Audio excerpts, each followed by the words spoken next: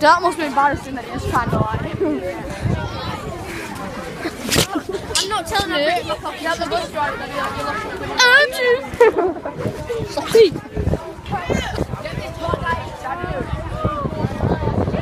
Hello, boys! Get off that!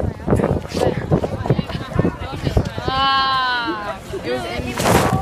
Ah, what are you gonna do now? That's why you put it in. Look at the top of his head. Look at the top of No. It. Them ears. Look at Look at the fucking ears.